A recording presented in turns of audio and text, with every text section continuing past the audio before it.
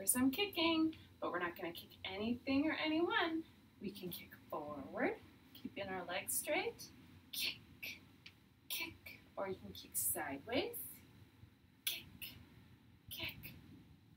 If you need to hold on for balance, grab a chair and kick, kick, kick, or we can even kick backwards, kick.